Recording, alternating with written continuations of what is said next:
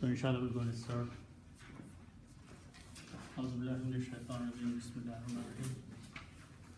So inshallah we'll going to start learning the uh, meanings, the vocabulary, the grammars of the Quranic verses. And as the starting point after have, we have gone through the grammar is I took a collection of the du'as the supplications in the Quran, and listed them in this order. And we are going to learn how to understand the meanings of these Quranic verses. but before I do that, couple things to remind from our previous classes is that, which is very important thing, is uh, a word or a noun in Arabic has different states. So sometimes you will hear the word Allah, sometimes Allahu, sometimes Allahi. Okay, what is the difference in these, and how are they used in differently in different verses? So that is one thing I want to re-emphasize today and go over that. So for that, um, I'm going to start with an example here. These three letters, the words ha, lam, and qaf, the meaning of these three is to create. Okay? And if I make a word from these by putting a fataha on each of them, this brings the meaning of third person he and the past tense, which is created. Okay? so that is the grammar of the past tense of any three letters in the simplest form. Khalaqa, he created. Okay. then I'm going to use another word, Aba and Dal. Abada, and this means to worship. Okay. And I'm going to use the one of the words that we learned is if we put an alif in the beginning and pronounce as a'abudu, this brings the meaning of I, first person, and worship. Okay. First person, I, worship. and then I'm going to use one more and then go through the example of that. Okay. The word tawakkala means to trust. Okay, but if I put a ta at the end and put a dhamma, this becomes tawakkaltu, I trusted.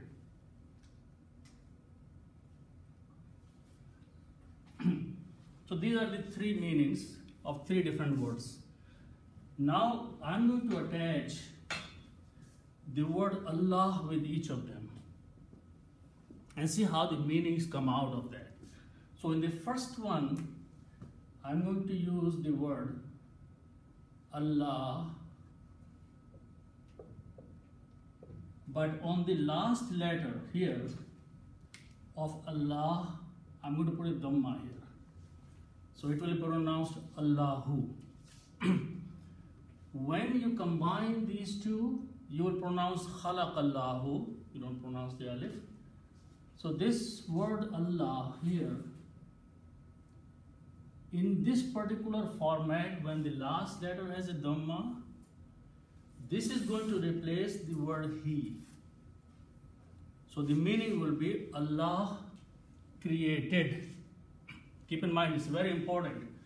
So the meaning is here, Allah created. We do not translate this He now anymore because He is a pronoun and Allah is a noun. Allah's the word took over, but has to be, this last letter has to be Dhamma here. Now here I'm going to attach the same word here. Allah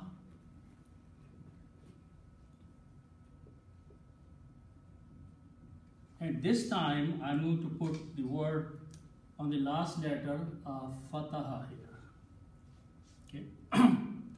so you will pronounce A'budullah. Okay. The meaning of this will be I worship Allah.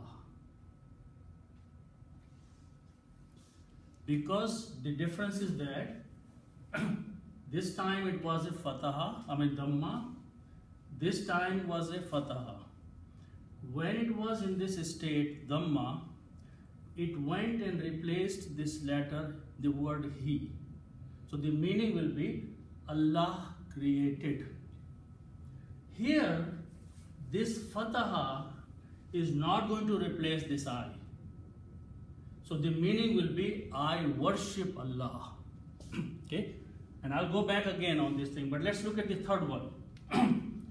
I trusted. Now I'm going to put the word Ala. Ala means upon. Okay, and then I'm going to put the word Allah after that. But this time it will be a kasra here. So the word will be Allahi. Okay? I trusted upon Allah or in Allah. Okay? So this is the same word Allah is used in three different sentences and each of the sentences here the meaning and the word formation changed from Allahu to Allah to Allahi. Okay, what went in the background? Okay, notice something that if you look at just the English meaning of this word, Allahu, Allah created. Allah is the doer. Allah is the fa'il. Allah is doing something. Okay? Allah is doing, He has the authority to a fa'il, a doer. So He is doing something. Now notice in this second sentence, A'budullaha. Allah is not doing anything there. I am doing something. I am worshipping Allah, which means I am doing something. Allah is not doing anything in this sentence here. Okay? Third sentence. Tawakkaltu Al Allah. I trusted and I'm establishing a relationship that who did I trust to? By putting Allah in between and that changed this to Allahi. Okay? The same word in three different sentences. Function is different in each time. The function of the word Allah is different. So this is called state of Allah. Or in Arabic it's called halat. Okay? When a word or a noun comes in this halat in this state that last letter has a dhamma on it it is a doer so then it is called rafa'a. When it comes with a fataha where the person himself is not doing anything, someone is doing something. Okay, so this is called nasab. Okay, and when Ala being a harf acts on a word then this is called jar. Okay, so these are the three states of a word. And based on each state, how the word is functioning inside the sentence, the situation changes. Okay? When you are reading the Quran, if you translated, if you recited this letter wrong here, if you recited this Dhamma, something else, the meaning will be very different. Okay? If, if for example, if you pronounce Dhamma here, or you just pronounce Fatah, the meaning will be Allah worship. Meaning will change totally. So it's very important that when you're reading the Quran, every letter should be pronounced correctly. In Arabic, just changing the harakat from Dhamma to Fatha to Kasra the meaning totally changes. Okay? So just keep in mind when we study the Quran, whenever a word will come with one of these three, the meaning will be very different. Okay? So just keep these these fundamentals in mind that okay, the sign of this thing is that this has last letter Dhamma, this has last letter Fataha, this has last letter is Kasra. This is the simplest sign of three different states Fataha, Dhamma, and Kasra. okay? So this this this thing does not exist in other languages like English because in English the word Allah is Allah is Allah all the three times. In Arabic, the word itself changes its sound based on the function inside of it. Okay, so this is very important. Otherwise, we will be translating Arabic wrong if we do not track these things here. Okay, so with that background, let's go to the beginning of this article, of this uh, document.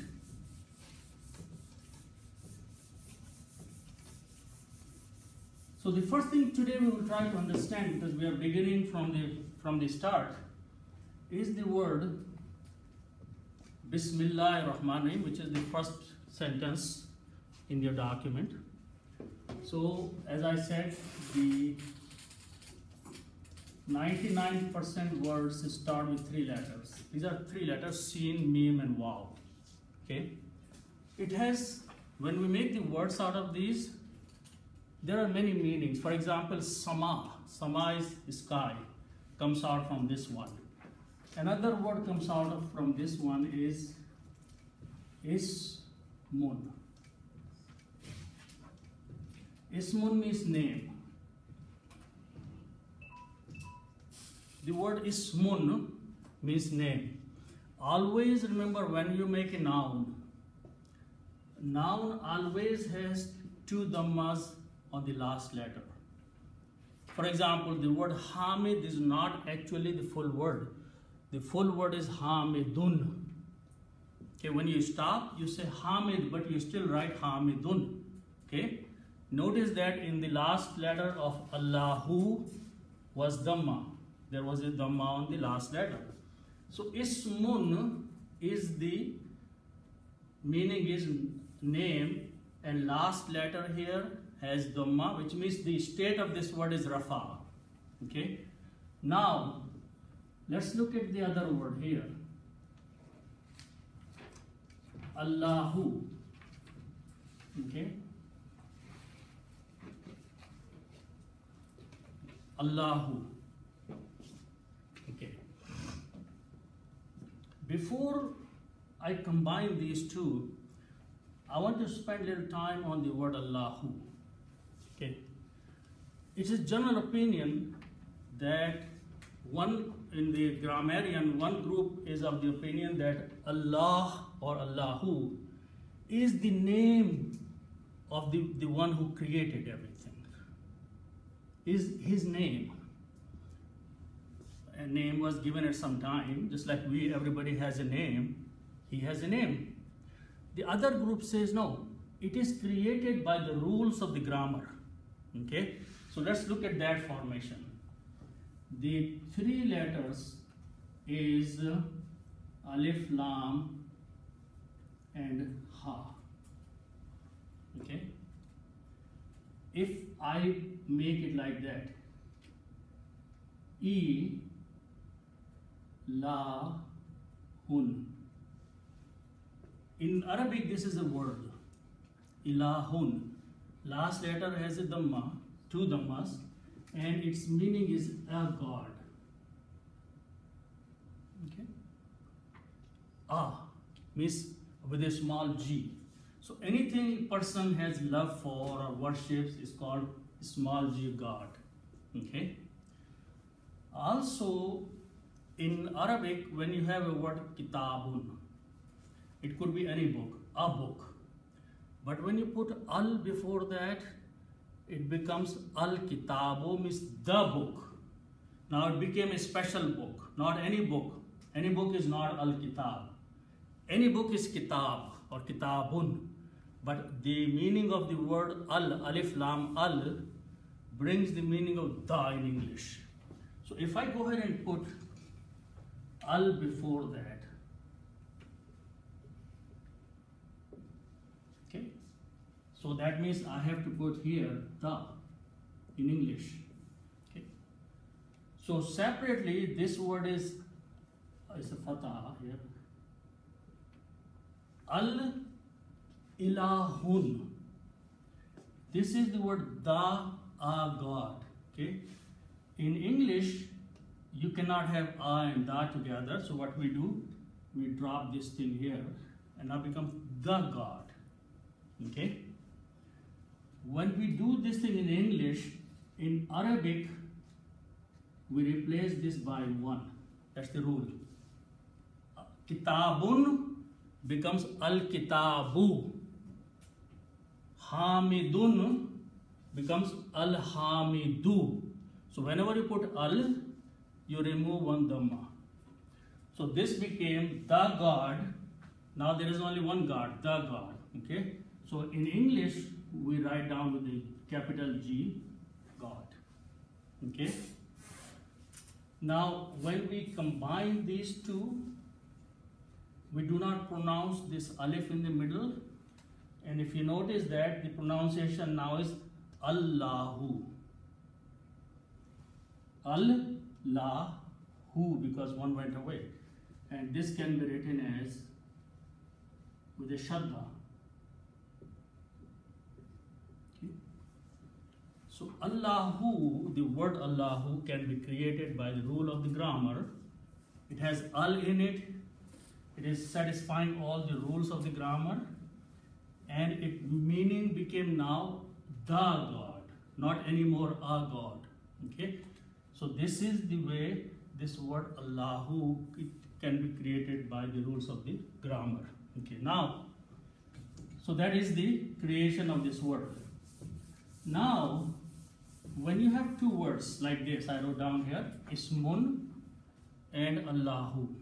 Okay, two separate nouns, two separate words.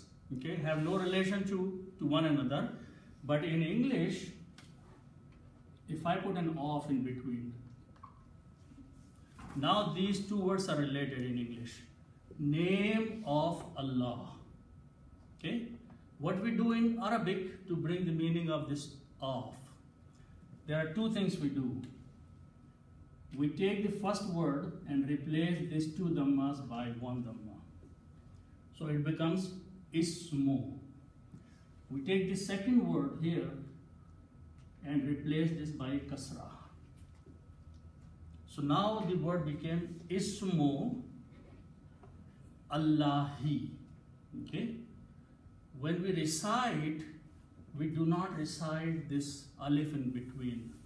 Okay? You will keep seeing that in the tajweed, in the recitation, when words are combined, if there is alif in between, we drop that. Okay? So this word will become Ismullahi.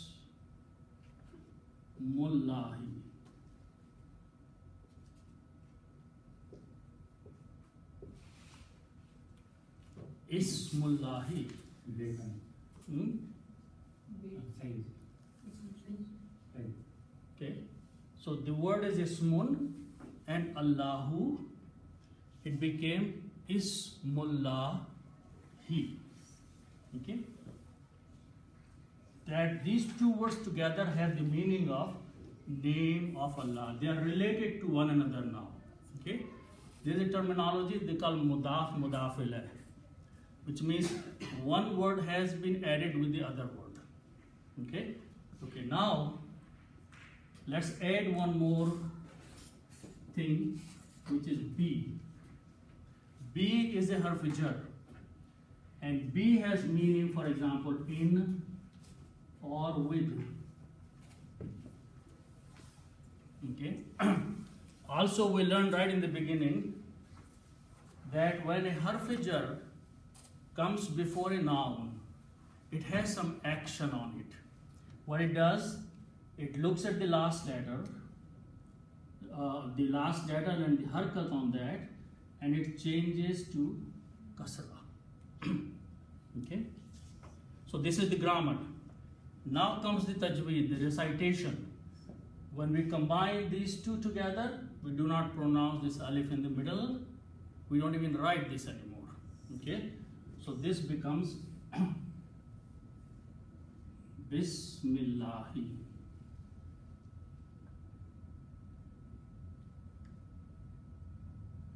Okay. This alif which was written there, we changed with a small swat. Means do not pronounce it. Okay, sometimes don't write, sometimes mostly don't pronounce. So Bismillah means in the name of Allah or with the name of Allah. Okay, so that is how we start the word Bismillahi. Okay, now notice that this word Allah now has a kasra. This has a kasra, and we just learned that if it has a kasra, the state of this word is jar. It's just a name for that state, jar. Okay? Bismillah in the name of Allah. Now, let's take a couple more words after that.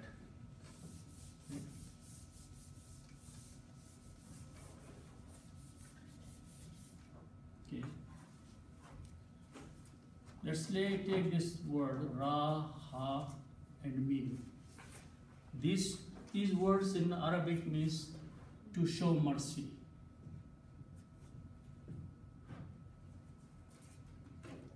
Okay. To have mercy or to show mercy is recording it? Okay. So Rahama means to show mercy or to have mercy. Okay. Now in Arabic, some words are made from the basic. For example, if I have these three letters, fa, and, lam, fa'ala, we use this for template, for learning. This means to do. If I put an alif in there and pronounce as fa'ilun, fa'ilun means doer. Okay, so by adding an alif between the first and the second, it becomes the person who does. If I do it this way, if I put a ya there instead of alif and keep the lam there, just ya in the middle, so this becomes fa'ilun. Okay, this is also doer, but there's a difference in these two words. In Arabic, fa'ilun and fa'ilun. Fa'ilun is a person who does something. But fa'ilun is a person who keeps doing it, does a lot of things. Intensity is in there. Hmm? For example, Allah, if you take these three letters, Ain, Lam. Alama, this means to know something. This word will be alimun. Alimun is someone who knows something, he has knowledge about something. But when you make at this wazan, it becomes alimun. Okay? What's difference between alim and alim? You can go and learn and, and get a degree. You can be called alim. But you will not be called alim. Because you learn something, you become knowledgeable, you become alim. But for alim or fa'il, you have to know everything. So this is the sifat of Allah subhanahu wa ta'ala. He is al-alim, the one who knows with intensity. Once one who knows a lot. So whenever you see in Arabic, the words are created at this scale, at this template, it's someone doing something. But when you create at this intensity scale, it is, for example, shahid. Shahadam is to witness. Shahid, who just witnesses something. But shaheed is who has a lot of witnessing power in it, intensity. Allah subhanahu wa ta'ala's names, Asma'ul Husna, are at this. Alim, Qadir, Rahim, Wasi. All those Asma'ul Husna have this template in them. Fa'il. Okay? So the word Rahim is at this scale, which means he has a lot of rahmat. A person can show rahmat, mercy, small scale, but he is not Rahim. Ar Rahim is the sifat of Allah subhanahu wa ta'ala, is the attribute of Allah subhanahu wa ta'ala. So at this scale, we will make the word Rahimun.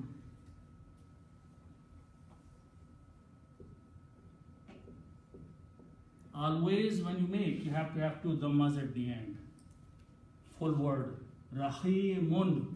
Rahimun is someone who shows a lot of mercy.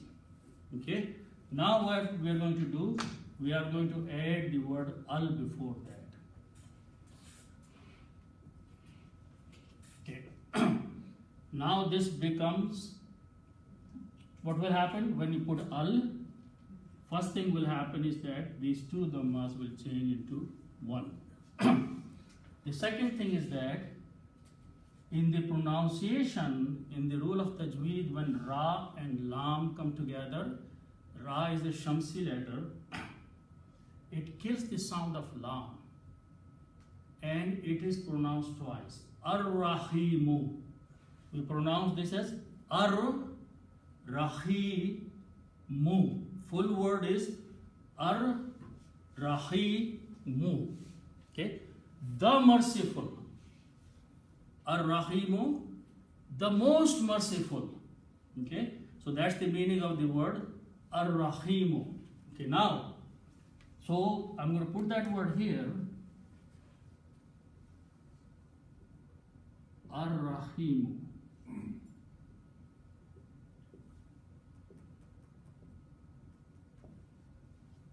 Okay, now we all we have this word here, Allahi, Allah subhanahu wa ta'ala. This is the word which is coming after that is the sifat of Allah subhanahu wa ta'ala. The name is already here. Okay? But what we are putting after that is the attribute, is the quality, is the adjective or the sifat of Allah subhanahu wa ta'ala. So in Arabic, there is a rule that if you have a name and you have a sifat, sifat means adjective, defining what that thing is, it's adjective. Whenever you put an adjective after a name, the adjective follows the name. This rule will keep coming. So whenever you have a name or ism and you have an adjective means a sifat of that. Hmm? What happens? Sifat follows the name. So what will happen is that this will become a kasra because this has a kasra here. Okay? So this become ar-rahimi. Okay, not more ar-rahimu anymore. Then you recite Bismillah hir. You don't pronounce this alif anymore. So you say hir. Okay? So Bismillahirrahmani. Up to this point is Rahma and Rah, Rahman. Rahim. Okay, I, I skipped the Rahman, but I'll go back on that one. So there's a Rahman in between. Okay. So so Rahimi, okay. Now let's go back to the same word.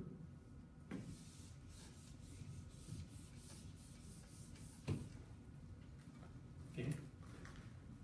Then um, if we have this Ra, Ra, Fa, and and Lam, then we make a word at this scale.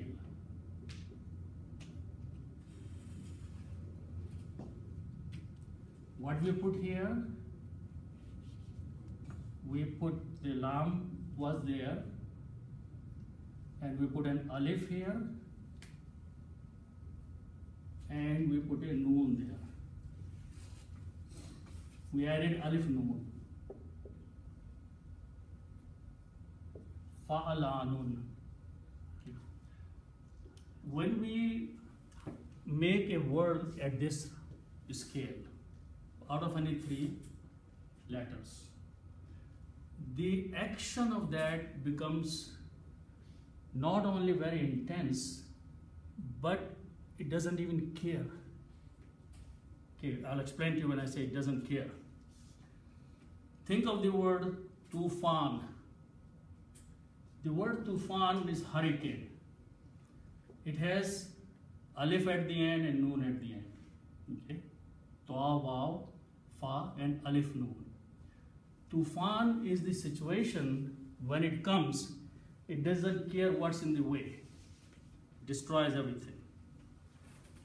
Tughyan, Tughyan is flood. When the flood comes in the river, it doesn't care if a crop is in the way or a child is playing, it drowns everybody.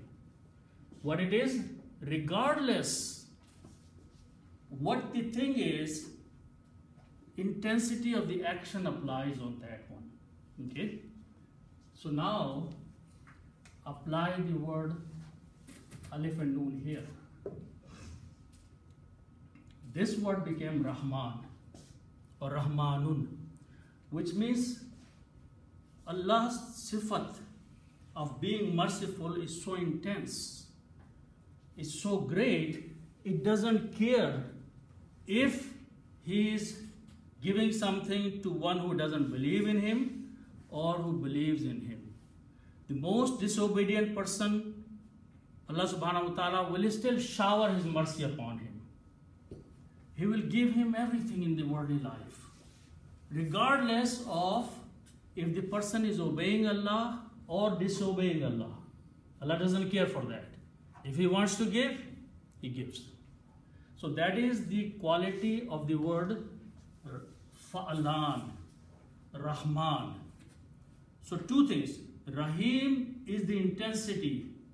When he wants to show his mercy, he shows a lot of it. Rahman is the sifat that when he wants to be merciful, he doesn't care who is at the receiving end. He gives regardless. So the, this is the word Rahmanun. Okay.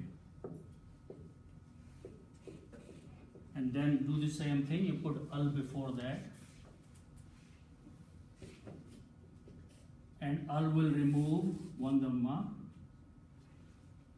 And in the pronunciation, it will be ar rahmanu. Okay. So I'm going to rewrite this thing. So the word here is ar rahma nu and as I mentioned that this is the sifat of the word Allahu so this ar-Rahmanu will become ar-Rahmani and then you combine this with the word ar-Rahimu was the word and then ar-Rahimu became ar-Rahimi okay this is the last word of the sentence. So when we reach to the last word, the last letter of this sentence, last letter is meem. Whatever is harkat on the meem, if we stop, we make this a sukoon. We don't pronounce this harkat anymore. So we pronounce rahim. Okay? But everywhere else you have to pronounce it full. Bismillahi will become hir. Rahmani will become nir. Rahimi will become rahim. Okay? But if you want to continue, if you want to say a word after that, then you can pronounce rahimi. Okay? But if you stop, you lose your breath. You always stop. Look at the last letter harakat on that last letter, doesn't matter what it is, except in one case, this changes into a sukoon. So the first word or the first sentence that we learn is Bismillah ar-Rahman ar-Rahim. In the Quran, inside the Quran, this sentence has come only one time. In Surah An-Naml, Sulaiman alayhi wrote a letter to the Queen of Sheba, and he started his letter with the word Innahu min Sulaiman. This letter is from Sulaiman. Innahu Bismillahir Rahmanir Rahim. This letter starts with the name of Allah, who is Rahman and Rahim. Out of 114 surahs, Bismillah is not part, except there is an opinion that maybe the it is part of Surah Al-Fatiha. Other than that, 113 surahs don't have Bismillah ar-Rahman Rahim except we recite that because we want to start everything, every action that we want to do with the name of Allah subhanahu wa ta'ala. Okay. So again, the required requirement is to say A'udhu Billahi Minash Shaitan Requirement is not to say Bismillah. I have a question. Many people say Bismillah Rahman. That's wrong. Rah, Ra is Rah. Yeah, it's here in No. Ra, but people. People say wrong. Yeah, that's No. This is clear grammar here. There's, there is nothing you can do about it. Okay? So as I was saying, the- in the Quran, Allah subhanahu wa ta'ala says, وَإِذَا قَرَأْتِ الْقُرْآنَ فَاسْتَعِذْ بِاللَّهِ When you read, recite the Quran, seek refuge with Allah subhanahu wa ta'ala. So when you start reading the Quran, you say, أعوذ بالله من الشيطان الرجيم. Okay? Bismillah ar-Rahman is written there. You should recite because everything should be started with the name of Allah, but that's not the requirement. Okay? So that is the first part of that. Okay? Now we'll go to this thing, and in this first uh, set of document, we are going to learn about the du'as that Allah subhanahu wa ta'ala has taught us in the Quran. Okay?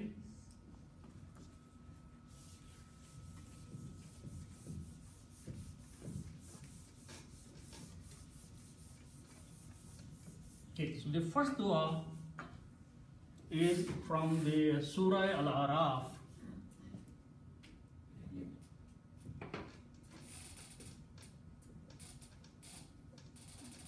And the ayat number is 180. Okay. and this, the ayat starts Azubillah ibn Shaitan Jim. Walillahil Asma'ul Husna Fad'uhu Biha. We'll try to understand grammatically the meaning of these words. Okay. Now, the first word or the first letter is waw. Waw means end. Okay. Now, the second thing is lam with a kasra. This is a harf jar and its meaning is for. Li is a harf jar. Its meaning is for. Okay. Then the word after that is original word is Allahu. The full word has to you have to start the grammar with the original word which is always in the Rafa state. Rafa state means it has a Dhamma. So the actual word is Allahu.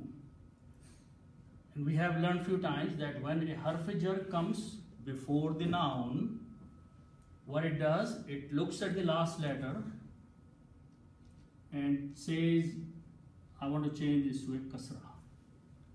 Okay? So now the word became li Allahu. Meaning is for Allah. But when you read them together, the first thing that happens is that this lam combines with this lam, alif is not pronounced. Okay, so this word became lillahi.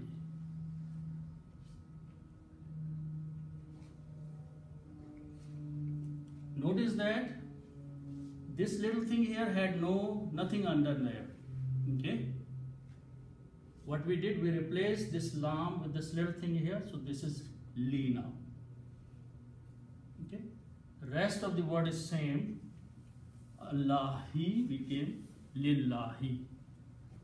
Walillahi and for Allah.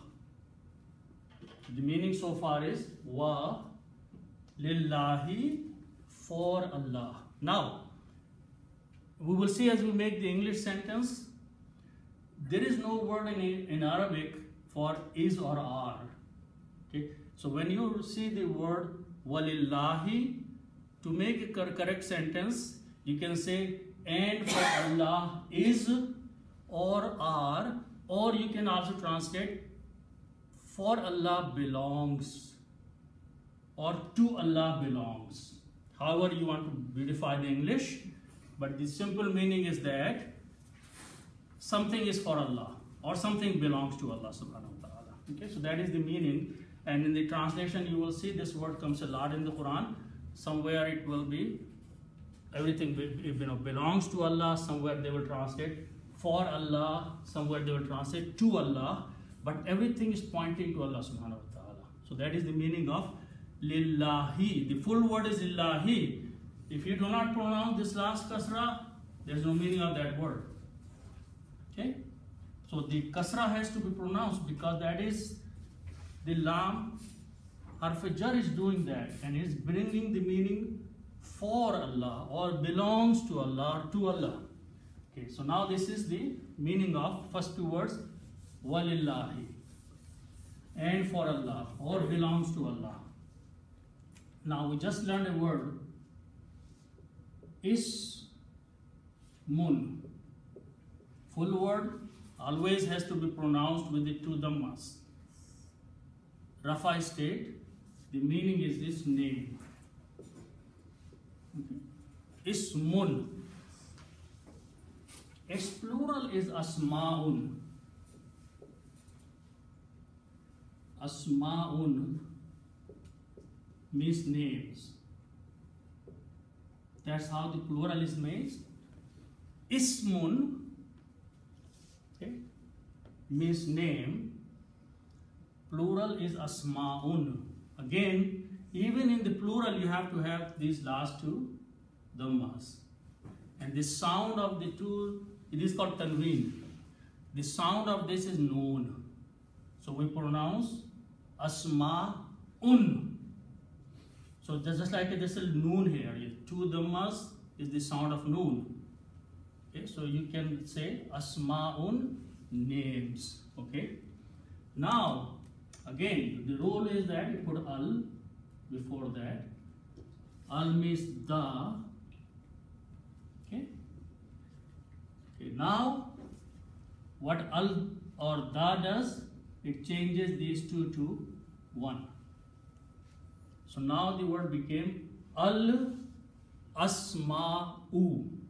You have to pronounce correctly to bring the meaning. Al asma'u means the names. Okay? So now the meaning will be walillahi and for Allah subhanahu wa ta'ala al asma'u are the names. Okay? And when you recite together, you combine lillahil. So you do not pronounce this alif again here. Okay? So you will be pronounced walillahil asma'ul so far asma'u. Okay? Also, you will keep noticing in the text that this letter, vertical line, when we have Hamza on it, okay, this may have three sounds. This may have a fatah or a dhamma or a kasra, a, e, u, okay. This is called Hamzatul Asal. Hamzatul Asal. Okay. Simply we call this Alif in, in Urdu. But in, in Arabic, grammatically, this is like Alif, whichever sound is there, that's a different thing. But this has a little Hamza sound on it. Okay. This is called Hamzatul Asal. Okay. Now, this alif or Hamzatul, which is just like written here, okay. If you have another word before this, and you combine that word, then you do not pronounce this alif or Hamza. So what happens is that what we do in Arabic, we just take this vertical line and we change this to a small swath. Okay? And we call this Hamzatul Wasl.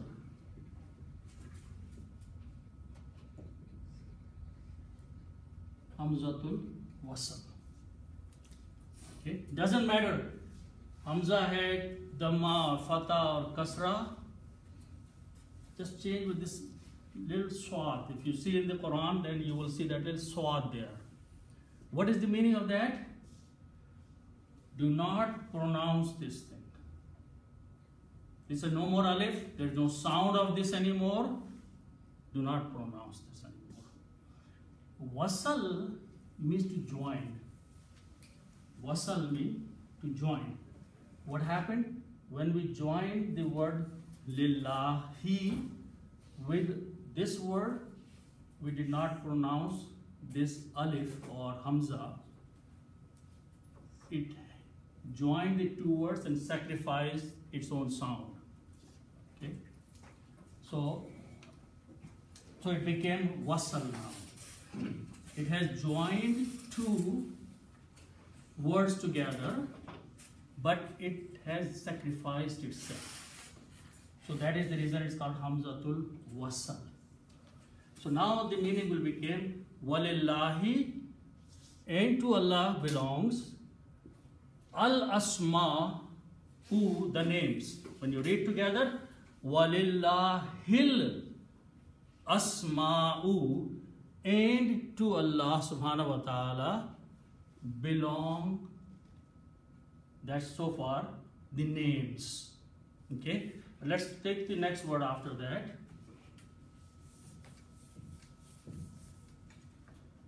hasinun are the next three letters. Hasana. Hasana has many meanings. To be good to do ihsan to be beautiful and all those words. Okay. And this hasanatun hasanatun means beautiful.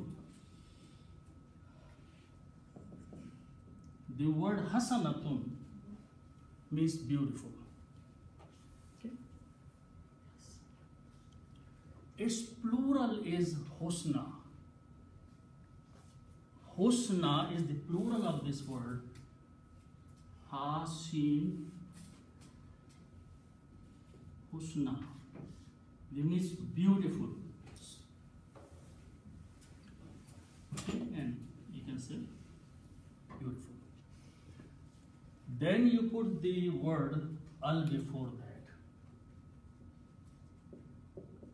Okay the most beautiful. Al husna this is not hasana husna. Al husna that's the word in the quran. Al husna means the most beautiful. This is superlative degree. One is beautiful and one is most beautiful. Okay? And it's a plural why plural? Because the word asma is a plural. The word asma is names. It is the plural of ism. Ism is one name. Asma names. Okay? Remember the rule i said? The al asma'u means the names. This is the sifat of those names. Sifat means attribute. Adjective and adjective has to follow the noun. If noun is singular its adjective will be singular. If noun is feminine the, the sifat will be feminine. Here al asma is a plural. Also al asma is a feminine word. Okay? So husna is a sifat and it also is a plural feminine. So now the word became asma u and Al Husna. Again, in Tajweed, you don't recite the alif in between of Al Husna, that becomes Hamzatul Wasl. Again, you notice that in the Quran, there will be a little swat on alif of Al Husna. Originally, there was alif here with this Hamzatul Asl and Al Husna also here. But when you combine, you do not pronounce this Hamzatul Asl or vertical line with the Hamza on it. You pronounce. Okay, so Walillahil Asma'ul Husna.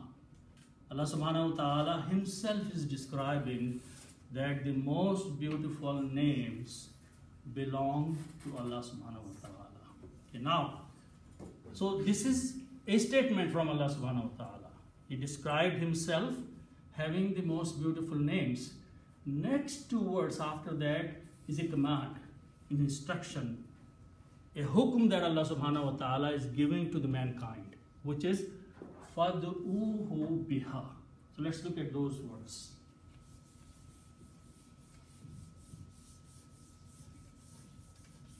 Okay. We start with these three letters, dal, ain, and waw. Okay, this means to call. The word dua is from the same three letters. Dua means supplication or calling. Okay, so word is dua. Okay, we learned recently in the grammar that if you put a alif in the beginning and pronounce as udu and this is a plural. So this means call this is a command. And this is plural. Okay. So Allah subhanahu wa ta'ala is saying Ud'u, call. This is the central word. There couple other letters before we'll look into that. But the basic command, this come out of these three letters. You put alif in the beginning, it becomes a command, an order. Okay, it's not a suggestion. When Allah subhanahu wa ta'ala says something, it's order. Okay? So, ud'u, Allah is saying call. And because it's a plural, so command is going to everyone. It is not specifying to Muslims or non-Muslim or this or that person. Straight um, announcement or hukum call. All of you call. It's a plural. Okay. So this word became, if I write down together, udu'u.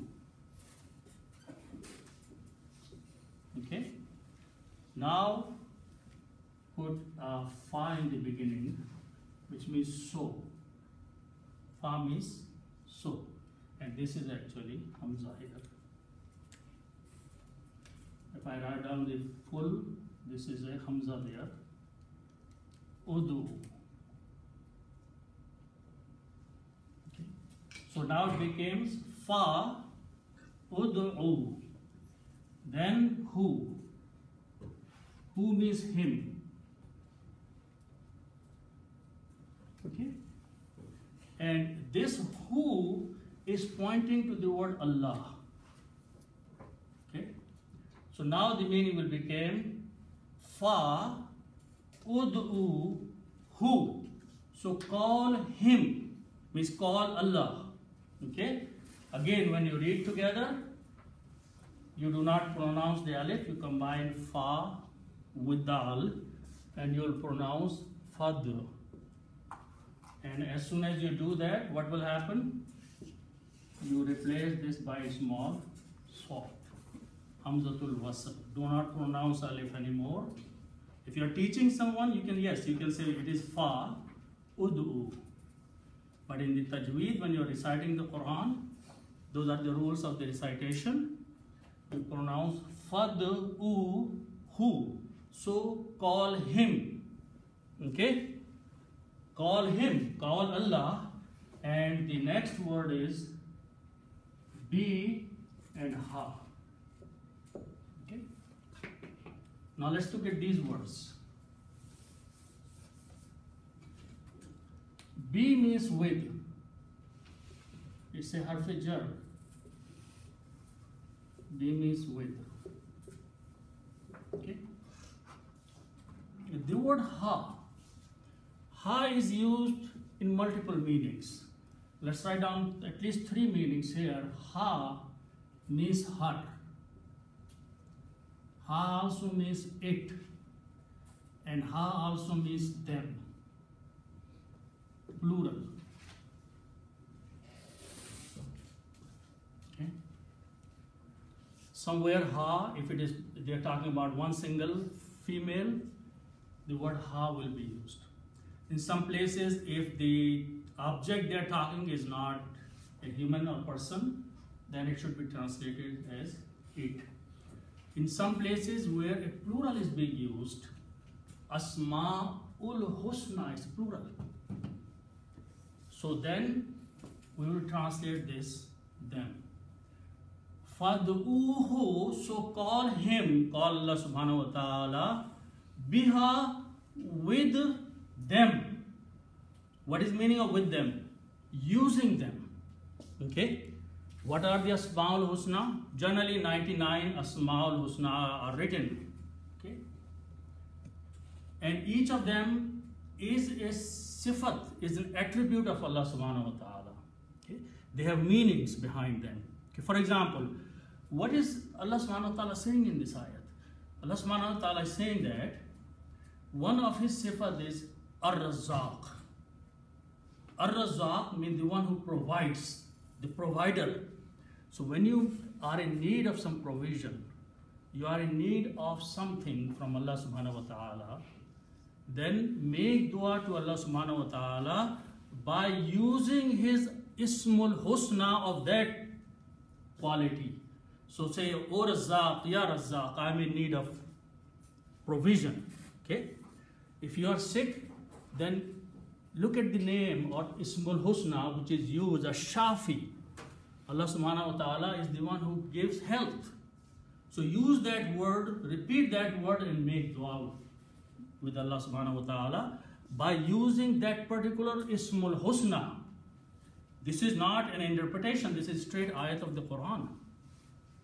Okay, this is Surah Al Araf, straight ayat of the Quran. Allah says that His names are the most beautiful names. When you are calling Him for any of your need, use those names and then make dua to Allah subhanahu wa ta'ala. So it's good idea to learn the meanings uh, of those asma'ul husna. If you if you are in need of mercy, that use the word ar-rahim and ar-rahman and then ask Allah subhanahu wa ta'ala to be merciful to you.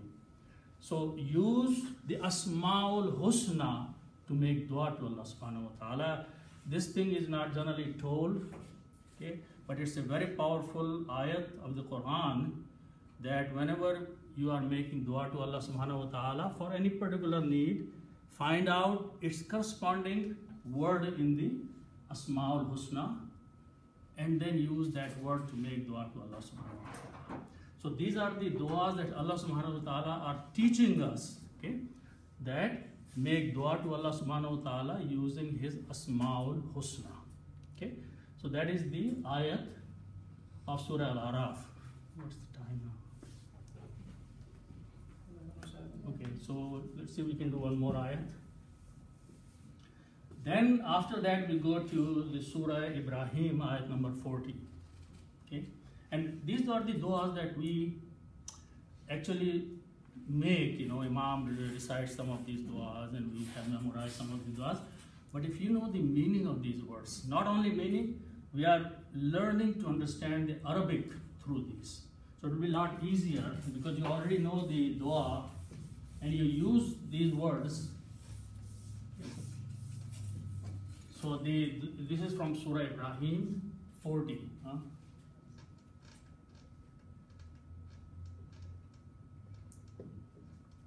Okay. And the dua is Rabbi ja'alni muqima salati wa min dhurriyati. Rabbana wa taqabbal dua. Okay. Now again, notice that the word starts with Rabbi. Hmm? Okay. So this is Ra, Ba, and Ba. These are the root letters. And the meaning of this is to provide or to sustain. Okay. To provide. Okay. When we make the noun from these three letters, we always put two dhammas at the end. Rabbun.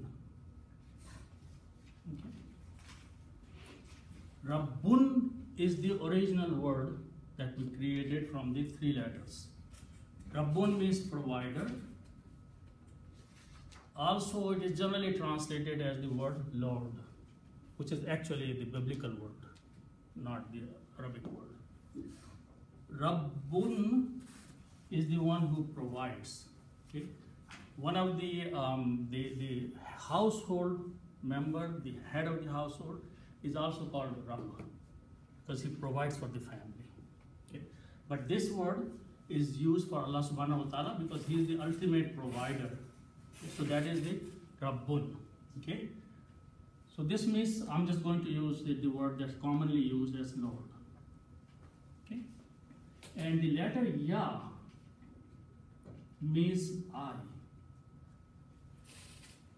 Okay? The letter Ya means I. For example, when I say Kitabi, my book, book of I or book of me or my book. Okay? So if I combine these two words together, it will be, if I put like off in between, Lord of I in proper English will be my Lord. Hmm? And when we combine these two together, this is the way it is written. Rabbi,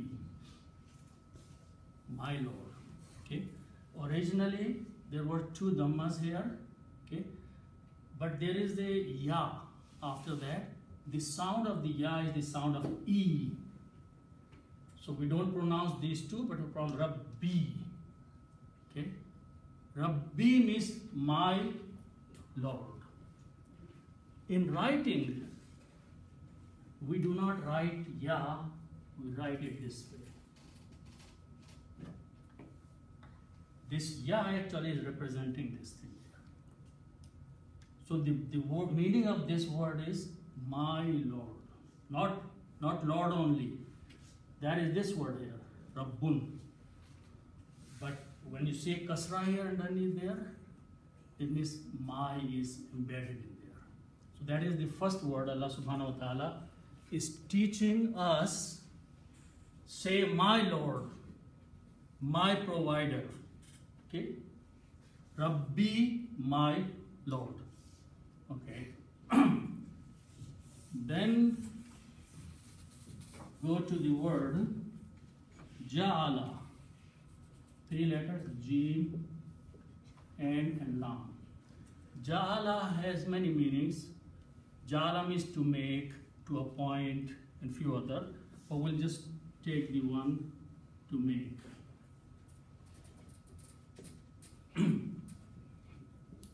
okay. now we also learn if you go look in your grammar table, fa'ala means to do. If I put an alif in the beginning and pronounce as if al, this is a command, this is an order, and it means to, it means to. If al means to do. It's an order, it's a command. Okay? If you apply this grammar, this, this template on these three letters, it will become ij'al. Ij'al.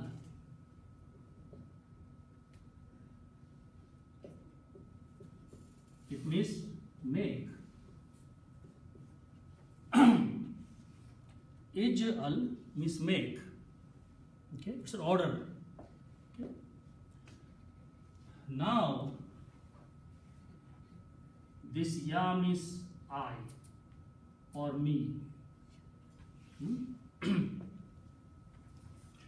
when we combine these two words together, the meaning will be make me in English. But in Arabic, we put a little noon in between, little noon here on top of that. Okay, and there is a reason for that, and I'm going to briefly mention, but it will come a lot in the Quran. This noon is called noon of separation. Okay, noon of separation. What it is doing, it's telling me and the reader that ij'al is one word and ya is another word. These are two separate words. Okay. If I try to combine them to make a sentence here, there is another word ij'ali in Arabic. It will be confused with that word. Okay. So we don't want to confuse with that word. We want to stick a little noon in between to tell the reader that this is it, these are two separate words.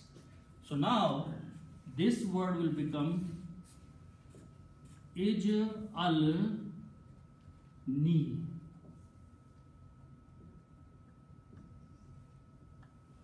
Ij al ni. The meaning is that make me. Hmm? That's the word in the Quran. Ij'alni. When you read this with Rabb, Rabbi, you do not pronounce this alif here. This becomes Hamzatul Wasl. And you combine Ba with the Jeem.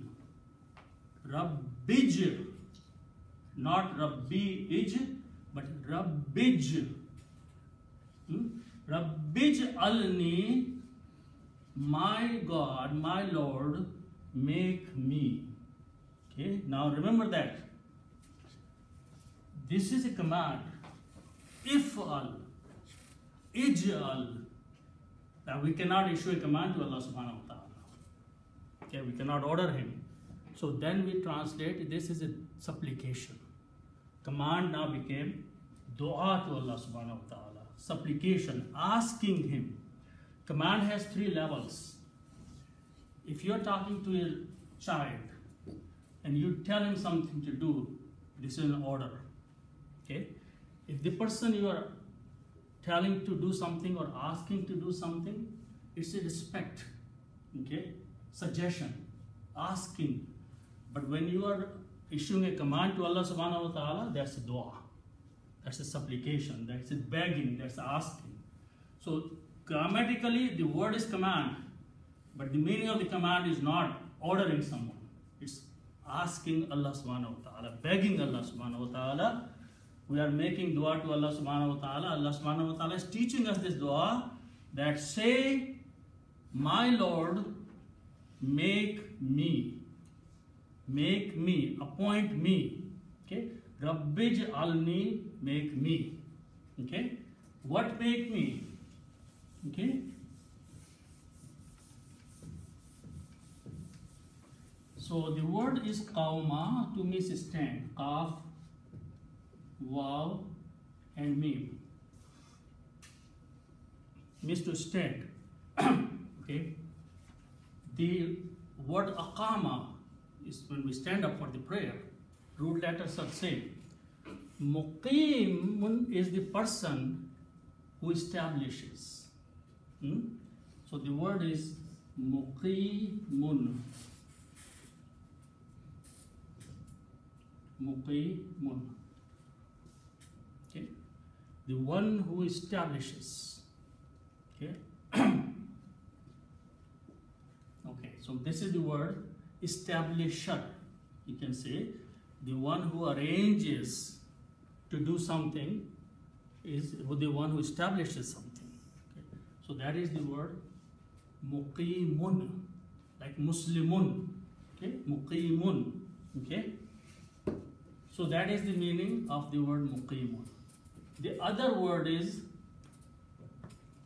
swad, lam, and waw. This means to pray. And the prayer is called salatun.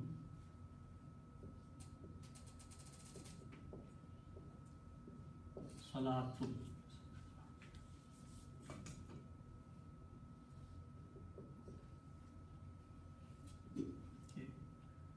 The word salatun is written this way. Waw is not pronounced. Salatun. Salatun means prayer. Salatun means prayer. Also remember that in Arabic, whenever you see this round ta at the end, that is a sign of feminine word. For example, Hamid, Hamidun is the full word, is a masculine. Feminine is Hamidatun. When you stop, you say Hamida. Okay? That has a ta at the end like this. Sajidatun, Sajida has a ta. So generally, mostly you can identify the words that have this ta at the end, ta marbuta, this is called round ta. This is a feminine word. Okay? So this is now you put al before that. Al means da, da prayer, and this will change to dhamma, one. So, and now when you pronounce swad and lam, swad is a shamsi letter, it kills the sound of lam. As-salatu. The word becomes as-salatu, one dhamma. As-salatu means the prayer. Okay, Common words, we know these, we repeat them all the time. Okay? Now, this means establisher, establisher or the one who is going to establish.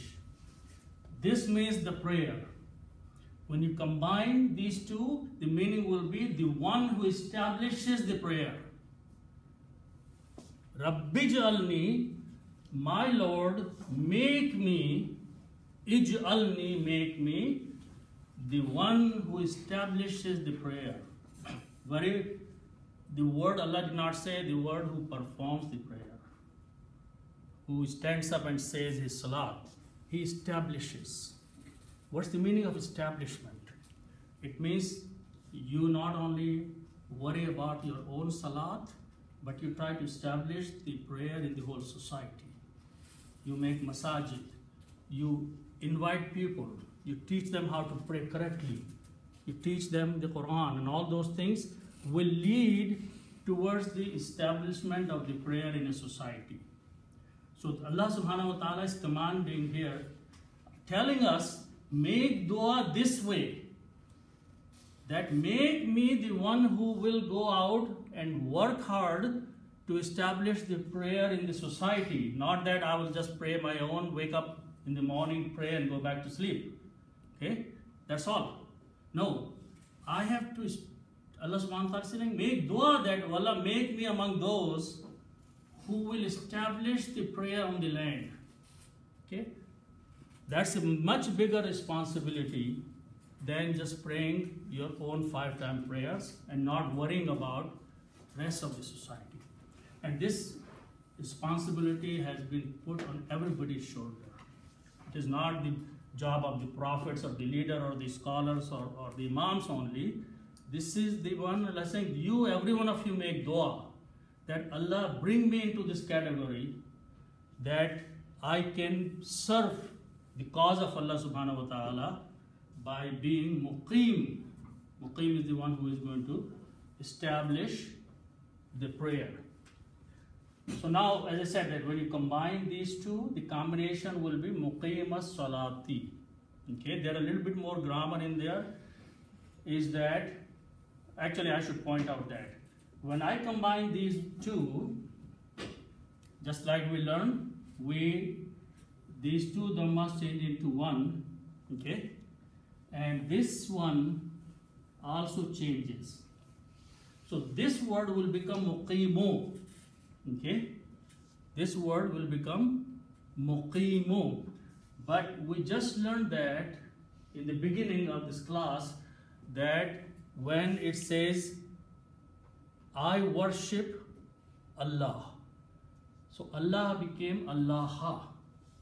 Okay? So muqimu will become muqima for the same rule, and we'll come to this uh, many more times. But because it's coming as a as a uh, maf'ul of the word ij'alni, it became muqima. And also this became salata. So muqima salat, so not salata, salati, because this this goes to kasra here. Okay. Muqim salati. Rabbij alni, my Rabb, oh my Rabb. Now again, in the translation, you will see some translators will put Ya in the beginning, Ya Rabbi. Because when you call someone, you address someone, you use the word Ya. That's the harf nada to call someone because Allah subhanahu wa ta'ala call Ya Allah. Okay? Allah subhanahu wa ta'ala when he calls people he says Ya ayyuhar Rasul, Ya Musa, Ya Ibrahim. So Allah subhanahu wa ta'ala uses the word Ya to first address the person and then he gives the statement.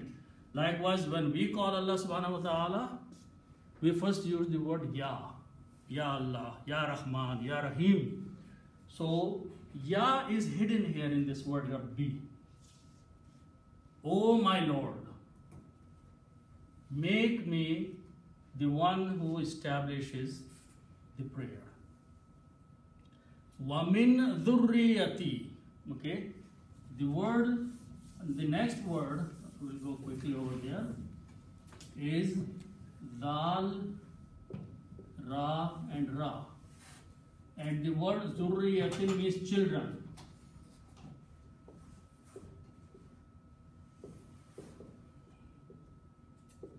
Zurriyatin means offspring or children or progeny. Okay, that's the meaning of word zurriyatun, children. Okay, and when you put a ya, it will bring the meaning of my. You combine them just like we combined before. This will become zurriyati, my children. Make me establish the prayer and also my progeny. Progeny may go many, many generations. Not only your own children, but their children and their children. So they're making dua this way that "Oh Allah, make me first yourself. Don't forget that you don't have to pray. You're just making dua for them. So "Oh Allah, make Wamin means from and from among my children. Okay? Make them establish the prayer. Rabbana, same words. Now we are using the plural. My Lord or our Lord. Na means our. Okay? Taqab, wa means and. Taqabbal is from qabul. Qabul means accept. Okay? Dua, again the word is dua un. Dal and du'a du'aun. Dua means supplication. Okay? You combine with the ya, my dua. Hmm? So this becomes dua e. Like that. And this is not written, so it is written this way. So the word my is hidden here. The word my is hidden in this word, okay, which is the du'a'i.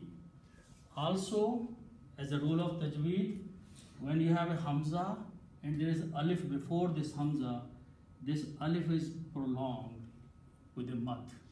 That's the rule of the recitation of tajweed. That whenever there is a in in the Indo-Pak Quran, they don't write it this way so you don't realize what it is. But in the Usmani script, if you see a Hamza and you see Alif, Wa or Ya just before that, that letter has to pronounce long with a mad. So this is Du'a'i. Okay, and you stop, you can say Du'a. Okay, so inshallah we'll continue next time from this point onward. We'll stop now.